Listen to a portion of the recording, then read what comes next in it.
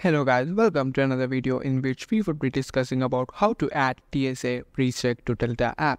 Are you having trouble adding the TSA PreCheck to the Fly Delta app? Don't worry, in this video we'll help you find a solution for it. Just follow these easy steps. 1. Log in to the Delta SkyMiles account. Download the official Fly Delta app on your iOS device and log in to your Delta SkyMiles account. After that, update your profile under the account section, find the TSA PreCheck or Known Traveler ID field and add your Known Traveler number.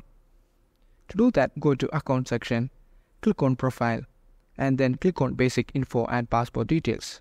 In which, click on secure flight info which will view your Known Traveler ID. After that, edit passenger information. If you are not logged in or do not have Delta SkyMiles account, you can add your KTN manually during the booking process when entering passenger information. 4. Printing your boarding pass. After updating your details, print your boarding pass from the Delta app. Ensure your boarding pass includes TSA pre stamp to confirm your TSA PreCheck status.